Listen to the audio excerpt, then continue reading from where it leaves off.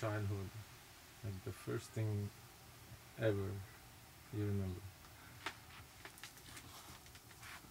First thing I remember was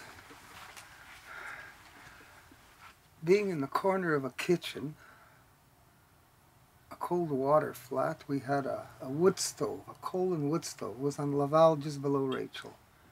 My brother wasn't born yet. So I don't know, I was three, four or so. And I was like in the corner by the sink, and my father and mother were throwing everything at each other. I remember that.